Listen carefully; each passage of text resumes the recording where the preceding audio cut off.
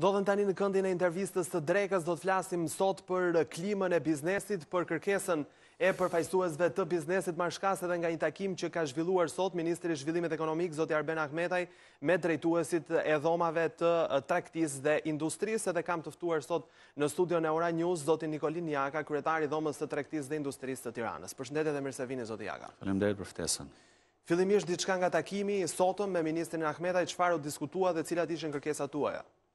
Atëherë, sot ishte një takim që ministri i Ekonomisë organizonte me dhomat e tregtisë, pra organizonte me kryetarët e dhomave e tregtisë në rrethe, duke e fokusuar takimin dhe bisedën tek partneriteti si dhe ajo çfarë mund të bëhet me statusin dhe situatën aktuale të rolit që kanë dhomat e tregtisë në zhvillimin ekonomik dhe në partneritet. Sot, dhomat e tregtisë përballen me ligjin pothuajse më të deformuar të mundshëm, sepse viti 2008 duke hequr anëtarësinë e detyrueshme dhe duke lënë të gjitha obligimet e tjera ndaj dhomës, e ka bërë ineficiente dhomën, për mos të thënë që rreth 3-4 dhoma nuk funksionojnë më, Është e pamundur që ato të jenë dhe të luajnë rolin e tyre, duke përfaqësuar interesat e biznesit. Janë shumë pak dhoma tashmë që janë në eficiencë, të cilat përfaqësojnë siç duhet interesat e biznesit, por që normalisht janë të sforcuara në mënyrën e gjetjes së dhe administrimit të burimeve njerëzore dhe situatës financiare. Po çfarë ka ndodhur pse jemi në këtë në këtë situatë? Jemi në këtë situatë sepse ne shqiptarët gjithmonë operojmë në modelin tonë, të prirur për të eliminuar dhe për të ulur taksat, nuk kuptojmë se si mund t'i shërbejmë dhe se si duhet t'i shërbejmë sipërmarrjes. Në vitin 2008, qeveria që ishte në pushtet, bën një ndërhyrje pothuajse të paargumentuar dhe deformon ligjin duke hequr anëtarësinë e detyrueshme e cila ishte kontributi i vetëm apo që zinte një zë të fuqishëm në rastin konkret rreth 90% të ardhurave në dhomë dhe e kalon me anëtarësi vullnetare duke mos e ndryshuar ligjin në pjesët e tjera ku përcakton detyrimet që ka dhoma ndaj Ministrisë së Ekonomisë apo varësisë së saj. Jemi munduar dhe kemi propozuar edhe në takimet që kemi patur me ministra apo edhe në kontaktet që kemi patur me qeverinë e atëhershme, në mënyrë që të ketë rolin e duhur në bazë të një ligji ku saktësohet qartë statusi i dhomave të tregtisë. Nëpërmjet ekspertëve kemi bërë analizat se si duhet të funksionojnë dhomat e tregtisë dhe dalin që kemi tre ligje, në rang botëror. Është ligji kontinental, siç operon dhoma italiane, dhoma austriake, dhoma gjermane apo shumica e dhomave të Evropës. Është ligji anglo-sanksion, ku ka një pjesë të vendeve të Evropës Lindore dhe të Ballkanit dhe dhe pjesa e Anglisë, Amerikës dhe disa vende të tjera. Dhe kemi edhe ligjin mix, që është anglo-sanksion dhe kontinental, ku më shumë implementohet apo zbatohet në pjesën e Azisë apo të vendeve arabe apo Lindjes së Mesme. Ne ku jemi në në implementimin e këtyre? Ne po apo kemi modelin tonë shqiptar. Kemi modelin allashqiptarçe që nuk i shërben as ligjit kontinental, as ligjit anglosanksion, sepse në të dyja rastet në ligjin anglosanksion është vetë buxheti i shtetit i cili ndan një buxhet të caktuar, ë që financon dhomat e tregtisë dhe nuk ka asnjë lloj varësie.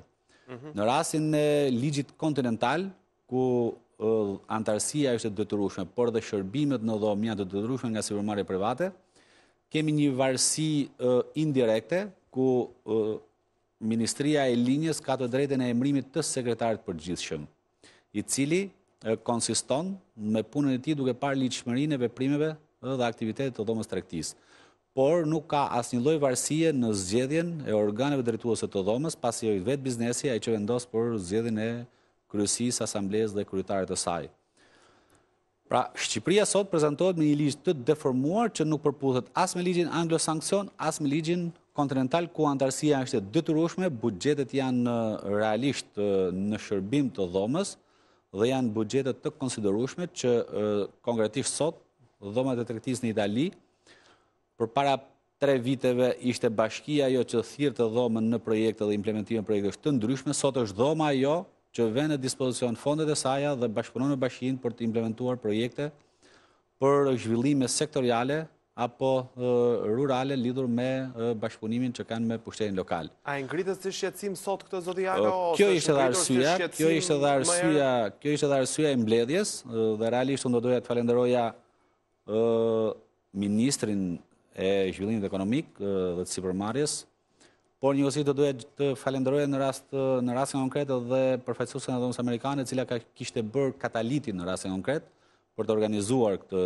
këtë takim, duke ofruar edhe dashamirësinë e saj maksimale për të pasur një produkt nga takimi, por njëkohësisht për të pasur edhe një situatë të shëndetshme financiare të dhomave të tregtisë, të atyre që janë krijuara me ligj të veçantë.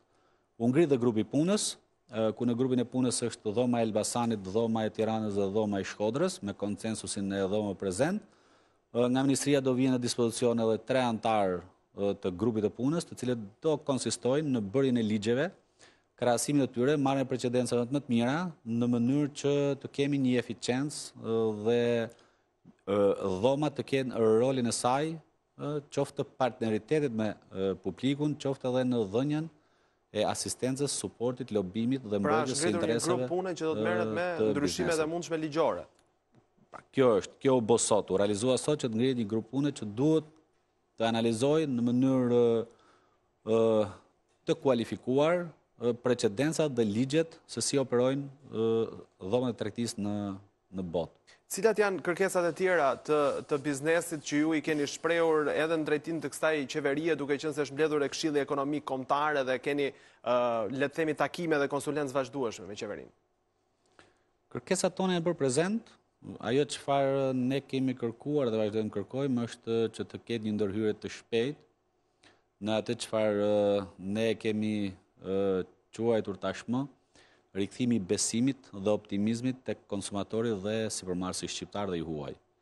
Pra do të thotë nëse ne kemi një paketë fiskale të miratuar në kushte të përshpejtuara, e konsultuar por jo e dëgjuar, e konsultuar por jo pranuar propozimet e sipërmarrjes, e konsultuar por e kundërshtuar nga sipërmarrja në tërësinë e saj, dhe sot ndodhemi në kushtet kur kjo paketë fiskale është miratuar dhe po vazhdon zbatimin e saj. Nga ana tjetër është e domosdoshme që kur kemi të bëjmë me miratimin e reformave të rëndësishme, sidomos me zhvillimin ekonomik dhe me impaktin që ato duhet të japin në rritjen e të ardhurave, është obligative që qeveria duhet të ketë parasysh të paktën kriteret bazë, që është kriteri i parë është transparenca e iniciativës, është partneriteti, dialogu, me grupet e interesit, është ajo çfarë është faza më e rëndësishme e një reforme të rëndësishme, siç ishte sistemi i paketës fiskale. Pra, konsultimi, jo vetëm konsultimi në metodën e sindromës të qeverisjes 8 vjeçare, por konsultimi i sinqertë me një vullnet të pakomprometuar, duke dëgjuar sugjerimet dhe propozimet që sipërmarrja duhet të bëjë në rastet e tilla. Dhe ajo që është kriteri apo elementi shumë i rëndësishëm është pritshmëritë dhe drejtësia e kësaj reforme. Pra sa e drejtë dhe kush janë pritshmëritë e kësaj reforme në finale.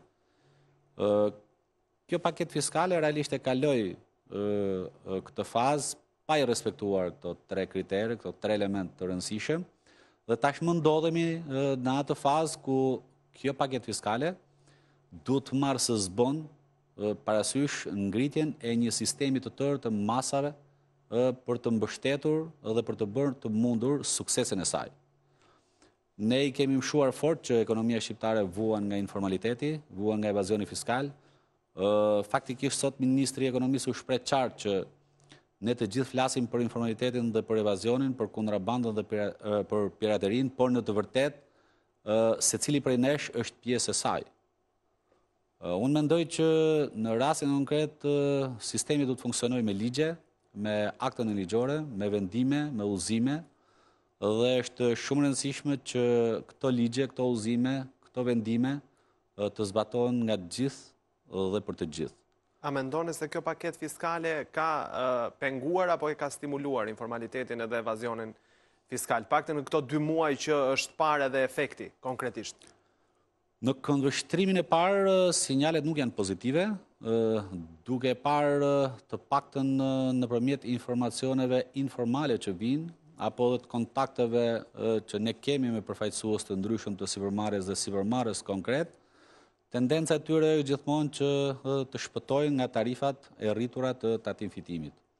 Dhe kjo do të thotë që kemi tendencën për të informalizuar ekonominë dhe sipërmarrjen e këtyre bizneseve që realisht penalizohen gjithmonë bizneset e ndershme.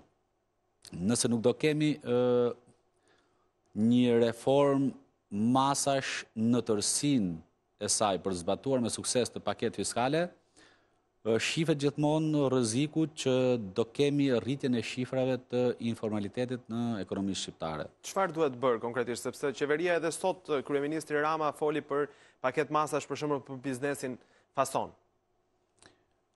Mjafton, është e mjaftueshme stimulimi i biznesit fason apo duhen edhe masa të tjera edhe për pjesën tjetër të bizneseve? Kjo futet tek suporti, tek mbështetja dhe nuk mund të jetë tek paketa e masave e cila formalizon ekonominë, sepse nëse sot flasim që edhe po të përjashtohet fare fasoneria, kjo nuk i shërben sistemit apo paketës fiskale për të qenë eficiente dhe për të qenë produktive në fundin e saj.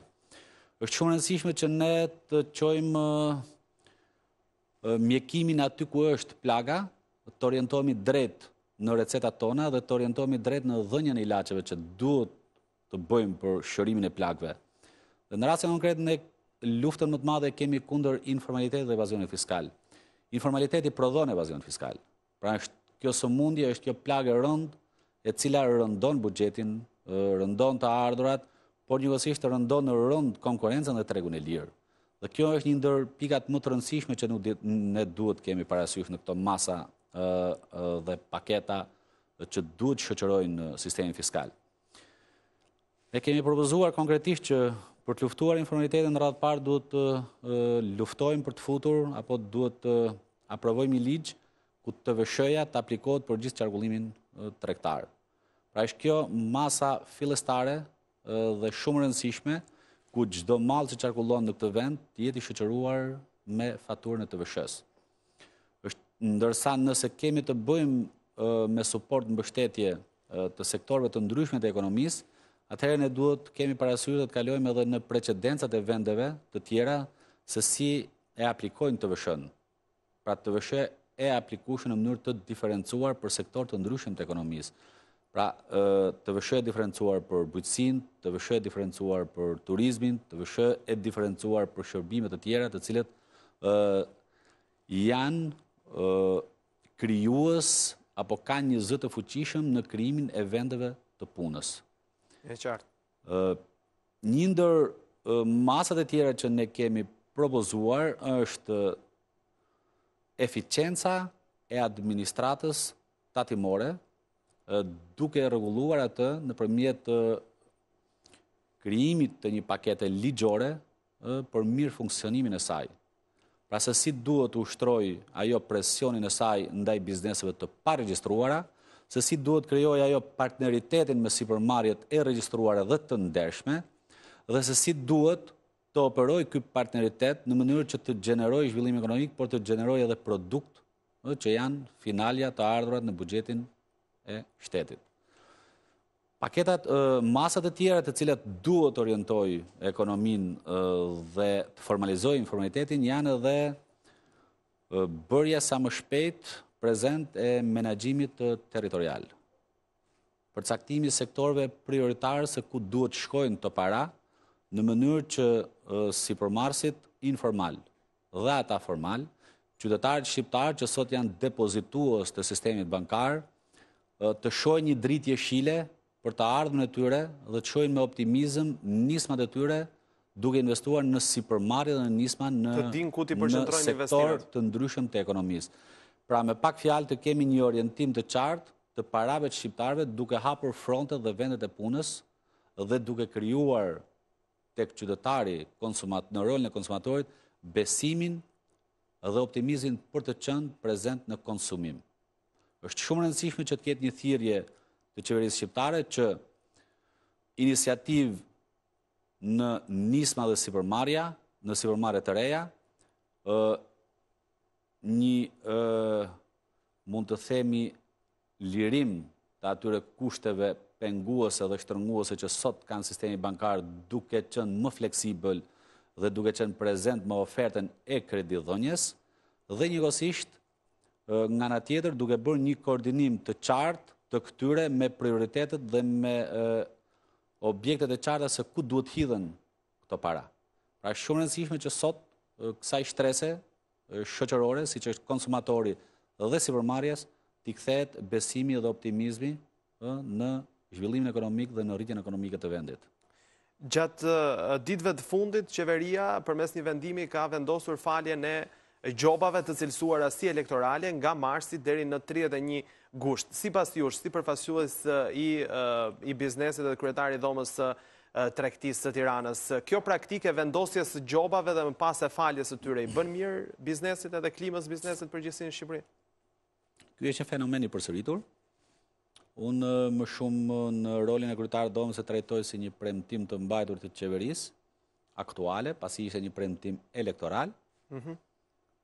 Por në rastin konkret ngelet gjithmonë një ndërhyrje një ndërhyrje ë thjesht në kuadrin e premtimit elektoral, e cila nuk e zgjidh çështjen në tërësi, sepse presionet dhe gjobat ndaj sipërmarrjes nuk fillojnë vetëm 3 muaj para zgjedhjeve, por këto lloj presioni apo ky lloj komunikimi arbitrar që administrata në përgjithësi ka me sistemin e sipërmarrjes private, bëhet sa herë që buxheti i shtetit ka nevojë për të ardhura dhe njëkohësisht bëhet sa herë që çdo forcë politike që është në pushtet ka nevojë të ushtrojë presionin e saj për të patur në përkrahje të saj një numër sa më të madh të sipërmarrjes private, duke e penalizuar atë edhe në rastin siç ishte penalizimi me gjoba arbitrare. Ne kemi propozuar dhe një ndër masat për të luftuar informalitetin dhe për të formalizuar ekonominë shqiptare është amnistia fiskale. Pra këto janë Është një iniciativë e Dhomës së Tregtisë e cila u punua shumë për rreth 2 vjet, u bë një draft ligj i konsultuar me ekspertë shqiptarë dhe ndërkombëtarë, një draft ligj i cili kishte të koordinuar precedencat më të mira të vendeve të Bashkimit Europian, por që fatkeqësisht qeveria me në krye ministrin e financave e ndryshoi atë e bëri atë amnisti fiskale që mos të ketë efektin e duhur në implementimin e saj dhe ne në këtë kontekst nuk heqim dorë nga kërkesa jonë për një paketë të plotë që të trajtohet jo thjesht si amnisti fiskale, por një pakt për të krijuar partneritetin dhe dialogun privat, publik në rrafshin e duhur. Pra ju pra, thoni që këto gati 30 milion dolarë që tha dhe Ministri Ahmetaj sot falje gjobash janë të pamjaftueshme si masë, kjo dhe amnistie? Nuk dua të nuk dua t'i bëj ndonjë përkufizim tjetër përveçse një premtim elektoral i mhm. mbajtur i mazhorancës aktuale.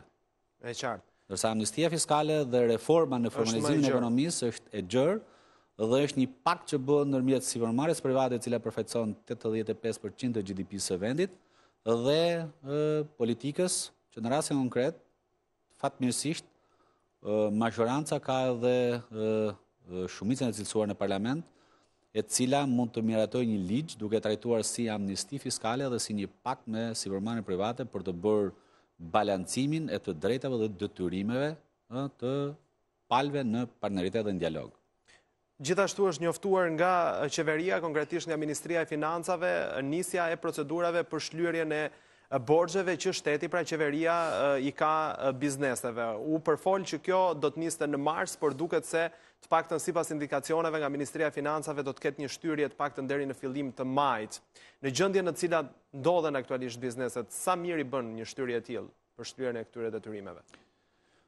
Çdo shtyrje që i bëhet shlyerjes së detyrimeve është një premtim i pambajtur, është rrezikim i situatës dhe krijimi i kushteve pesimiste për sipërmarrjen. Ajo çfarë ngelet akoma e paqartë është që realisht FMN-ja financon nëpërmjet kredisë rreth 330 milionë euro, por për një periudhë trevjeçare, mhm. ndërkohë që shifrat dhe statistika nxjerrin një detyrim rreth 720 milion dollar borxh sipërmarrjes private, dhe duke bërë një aritmetikë të thjeshtë, është shumë e vështirë që të na lindi doza e optimizmit për shlyerjen e detyrimeve ndaj sipërmarrjes private, Pa përmendur këtu dhe një fakt të rëndësishëm, i cili zë një peshë specifike në detyrimet e buxhetit të shtetit ndaj sipërmarrjes private, kur kemi të bëjmë me pushtetin lokal. Mund të them pa frikë që 30% e këtij 720 milionçi dollar, 30% më shumë janë detyrimet që pushteti lokal ju ka sot kompanive, qoftë për vepra publike si ujësjellës, kanalizime, rrugë dhe punime të tjera, apo shërbime siç janë pastrimet e qyteteve, furnizime të ndryshme, qoftë edhe deri tek kancelaritë. Pra ky është një problem që akoma nuk ka filluar të trajtohet. Dhe sot në kontaktin që ne patëm me ministrin me ministrin e ekonomisë, zhvillimit ekonomik, zotin Ahmetaj, edhe ai e pranoi që është një ngërç tjetër që qeverisë shqiptare i del si barrë për ta zgjidhur. Pra duhet merret qeveria me këto borxhe që janë në nivel lokal i bie tani? Unë mendoj që jo vetëm që duhet merret qeveria, por unë mendoj që është momenti që qeveria shqiptare, parlamenti shqiptar duhet të ketë një audit të saktë dhe të rreptë të zbatimit të ligjit. Sepse shumica e organeve të pushtetit lokal nuk zbatojnë ligjin në zbatimin e kontratave apo lidhjen e tyre, në shlyerjen e detyrimeve që kanë ndaj kontraktorit. Dhe kjo është bërë si një modë tashmë që mos të zbatohet kontrata dhe faturat të mos likuidohen në afat. Ndërkohë që fatkeqësia më e madhe që qeveria shqiptare apo organet e pushtetit lokal akoma nuk e dinë që çdo kontratë shoqërohet me penalitete në rastet e mosshlyerjes së detyrimeve që kanë ndaj sipërmarrjes private. Dhe akoma nuk kemi një analizë të saktë profesionale për të parë se cili është dëmi që i shkaktohet buxhetit të shtetit. Sepse në tërësinë e tij, qoftë të ardhurat e pushtetit lokal, qoftë shpenzimet e pushtetit lokal, qoftë shpenzimet e pushtetit qendror, janë zëra që dalin nga buxheti i shtetit. Dhe këto zëra në në rastin kur kemi të bëjmë me detyrime, është buxheti i shtetit ato detyrime që i trajtojnë ndaj sipërmarrjes private. Dhe nëse nuk kemi një zbatim të kontratës dhe një partneritet në zbatimin e kësaj kontrate duke qenë korrekt me njëri-tjetrin, atëherë i bie që humb besimi ë i sipërmarrjes private që në rastin konkret është i palës kontraktuese që ofron shërbimin apo punën ë e caktuar që ka nënshkruar kontratën. Pra kështu që problemi i shlyerjes së detyrimeve është një problem më i thellë se sa është bërë transparent deri më sot dhe në perspektivë shohim që do jetë edhe më më i thellë në mënyrën e likuidimit të tyre.